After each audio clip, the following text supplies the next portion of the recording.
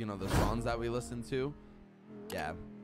I don't know what it's called, man. It was like insane. It sounded like robots were having sex. That's what it sounded like, man. I don't know how to put it. I don't know how to put it, man. It was just, well, I mean, obviously EDM, but like, it was like some like, like robots were fucking, man. Like it was some crazy shit, man. Yeah, it may be industrial. I, I don't know. Stop being